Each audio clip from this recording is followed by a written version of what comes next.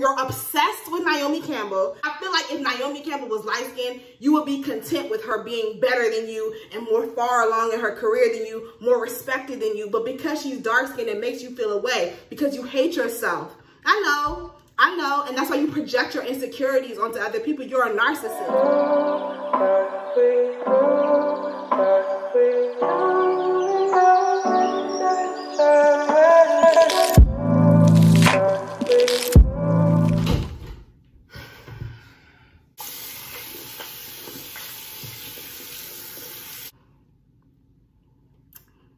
You thought we forgot? Tyra Banks, bring your bobblehead ass here. There have been some videos that have resurfaced of you terrorizing black women. First of all, I've been said that Tyra wasn't This is not the first time that Tyra Banks has been called out. Where do we start? We could start with Yaya. We could start with Naomi Campbell. I knew you. I think I really do feel like Tyra Banks is a colorist. I think she has an issue with dark skinned black women. Honestly, it's low key traumatizing. I don't think people really like understand the magnitude of this woman's actions. Tyra is the epitome of the statement, all skin folk ain't kinfolk. She has this like horrible habit of putting on this little weird valley girl, white girl accent when she's like trying to entertain white women and then switching it up and putting on this little sister girl ass act when she's trying to like, you know, um, connect to her black audience and it's just weird how she turns it on and turns it off. My issue with Tyra Banks is her is the way she treats black women. Even Beyonce. Tyra Banks being trash is nothing new.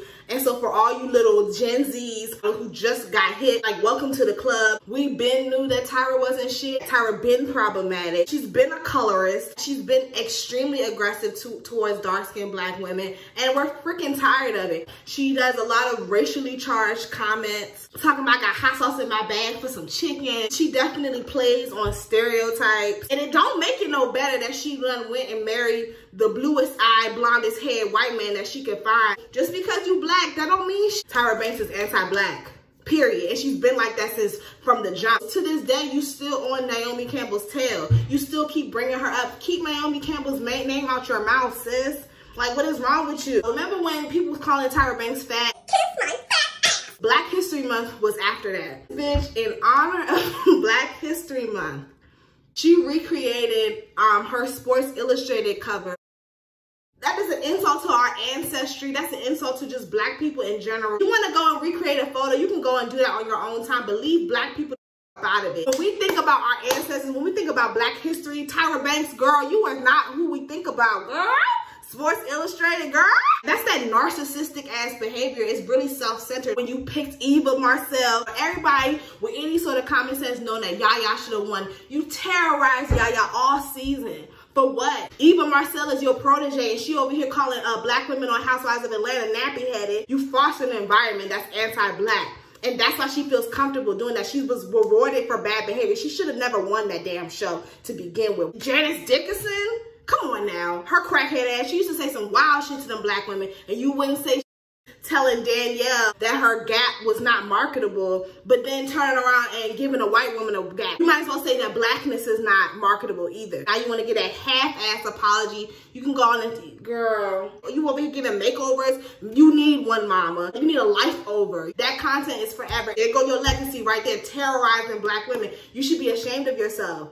You should be ashamed of yourself, Tyra. You're obsessed with Naomi Campbell. Like, let it go. You're not that girl. Naomi Campbell will and forever will be the greatest model to ever live. It's not you. Like, get over it. And I really do think that you're like, you feel away because Naomi Campbell is dark skinned. I feel like if Naomi Campbell was light skinned, you would be content with her being better than you and more far along in her career than you, more respected than you. But because she's dark skinned, it makes you feel away because you hate yourself. I know. I know, and that's why you project your insecurities onto other people. You're a narcissist. Talk about some black history. You chastising black women is a part of your history as well. Whole black woman dressing people up in blackface.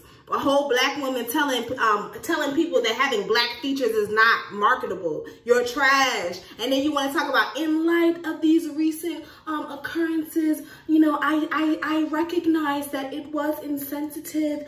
And girl, this is nothing new. We've been on your neck. But now that it's reached a higher audience, now you now you see what the tea is. When we've been saying this this whole time, let this be a warning to all of y'all celebrities out there clean that because these videos are resurfacing. Bitch, you almost 50 years old. You ain't no little ass girl. You a grown ass woman. I know you like to pretend and go on and on like you child, but you're not. And it's time for you to grow up. And I'm just ready for us to just, just, just, just, just, you will forever get the side eye from me. I knew at 10 years old, I knew you was like, something was really mentally wrong with you or like your elevator just didn't go all the way up. Don't even get me started about how you be cutting these girls' hair off and then sending them home the next week it's, and I'm sorry, like, I do think it's different when you cut a black woman's hair off in, in, in comparison to a white girl because just our hair in, in culture is just different. Like, black women's hair is a very spiritual thing, okay? It's very dear to our hearts. Call a thing a thing. You was doing that shit for TV. You was doing that for ratings. Like, you knew exactly what you was doing.